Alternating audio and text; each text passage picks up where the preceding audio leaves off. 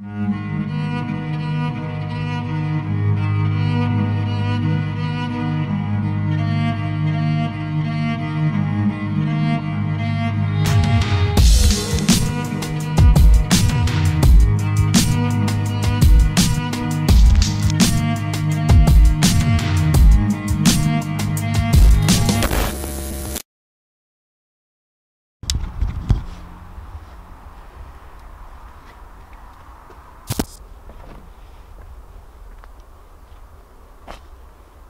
On va visiter euh, la maison, juste là. On la voit pas très bien. Je suis avec euh, Nemat. Salut. Et on va visiter. C'est un petit peu spécial parce que la maison, elle a appartenu à, à un ancien terroriste qui s'appelle euh, Abbas Fawaz Loutfé. Donc en fait, ce terroriste, il faisait partie de l'organisation Hezbollah. Hezbollah, donc euh, qui est placé, euh, qui est placé en liste noire par plusieurs pays, dont le Canada et les États-Unis. Et euh, la maison, elle est à l'abandon depuis 36 ans maintenant.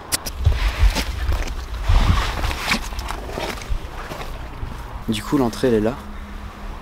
Et il faut, il faut monter sur cette, euh, sur cette petite benne à ordures pour aller monter là-haut. Oh, ça a l'air solide quand même. Oh, ça a Et bien. c'est, c'est à préciser que c'est la seule entrée et c'est la seule, sortie. Pour me tenir, ouais, et puis après avec les pieds.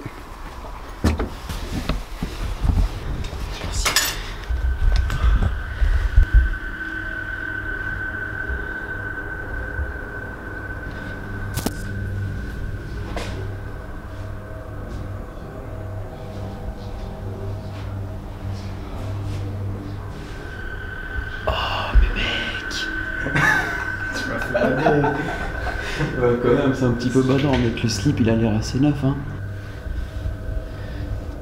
Il y a clairement du mouvement ici. Du coup, les gens qui squattent, c'est peut-être des Suisses, parce que le thé froid qui est juste là, c'est du thé froid suisse. C'est une ancienne date. Il n'y a pas de date. T'es sûr Ouais. S'ouvre Putain.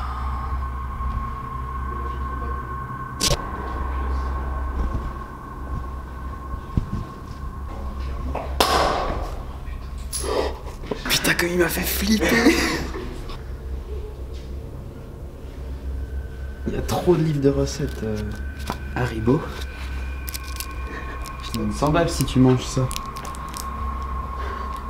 Que t'es mort. C'est assez, bizarre parce qu'en même temps, l'endroit, il est complètement, il est complètement, il est abandonné.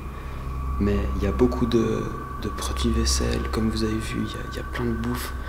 Et je pense que où il y a eu un habitant après le terroriste, parce que ces trucs-là, ça date pas d'il y a 36 ans, ou alors euh, il y a des gens qui squattent et qui squattent plutôt bien, parce qu'il y a vraiment tout ce qu'il faut pour vivre, quoi. Là, donc, on vient de visiter euh, le, le rez-de-chaussée. Et on va monter. Et après, on va descendre. Là, il y a du pain. La question, c'est est-ce que il est dur? Ouais, il est assez dur. Mais il est pas si dur. Et con lui, hein. Putain, la télé de collection C'est difficile de dire si le mec écrit mal ou si c'est écrit en arabe. Oh, regarde Regarde le nom sur la feuille. Non La facture Il a du, vraiment terroriste. Ah, Putain, France Télécom. Monsieur Fawaz Abbas. 23 du 12 97. Comment ça peut Donc, où le mec il a habité là pendant plus longtemps que ce qu'on pensait, Ouais. ou il a reçu des factures mais il était déjà parti? Parce que je pense pas qu'il est parti légalement, hein. je pense qu'il a plutôt fui, ça c'est une information à savoir. Là aussi on, a son prénom, hein. Alors, ce qu'on sait et ce que j'ai pu lire, c'est qu'effectivement, il faisait partie du Hezbollah, mais ce qu'il faisait depuis ici, c'était euh, plus du management. En fait, il manageait des opérations du Hezbollah. Maintenant, savoir où et comment, euh, je sais pas, mais on sait qu'en fait, c'était un peu comme euh, une centrale ici, puis il relayait les informations.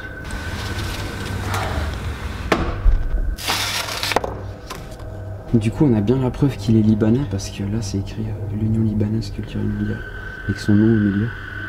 Il y en a tout plein là-dedans, putain. Et il y a des petites enveloppes. Voilà, et, et ça, ça confirme avec les téléphones. En fait, je pense que il utilisait vraiment ça comme il a dit avant, c'était de la communication, un petit peu aussi.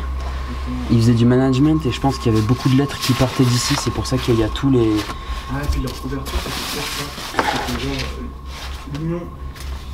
Je sais pas du tout ce que c'est. Là, il y a un carnet de téléphone. Peut-être qu'il faisait des...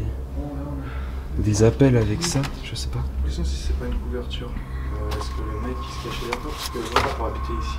Donc en gros là c'est l'armoire où il y a plein de, de secrets, Ouais, plein de choses qu'on découvrira sûrement jamais.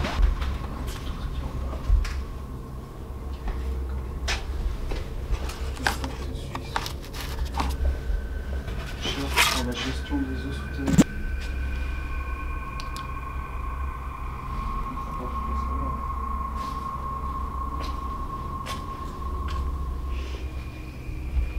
Waouh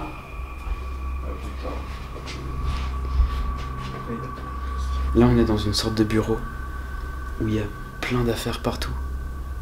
Et ce serait vraiment intéressant de tout regarder mais... Mais on va pas faire ça.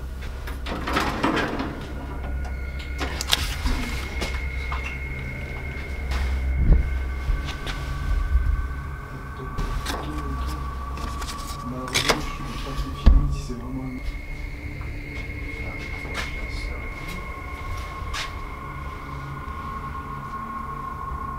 Du coup là on est dans le jardin, on est en train de partir gentiment de la maison.